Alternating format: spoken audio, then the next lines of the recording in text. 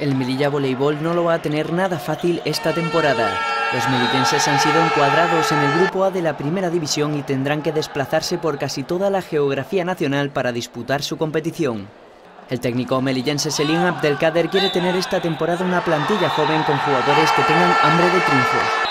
La liga contará con cuatro conjuntos más con respecto a la pasada campaña, así que los melillenses se tendrán que medir al Vera Vera de Guipúzcoa, la Universidad de Burgos, Universidad de Valladolid, Collado Villalba, uno de los clubes clásicos del voleibol nacional, Alcorcón, otro de los asiduos en fases de ascensos, El Recuerdo, Madrid, Hotel Río Badajoz, Nianjadas de Cáceres y la Asociación Deportiva Cáceres. La liga no solo será mucho más competitiva para el conjunto melillense con equipos de la capital de España, Extremadura, Castilla, León y País Vasco, sino que también será más costosa por los largos desplazamientos. El presidente de la entidad melillense Adillal espera reunirse con el director general de deportes Javi Hierro para poder plantearle la situación y hablar de una subida en la subvención.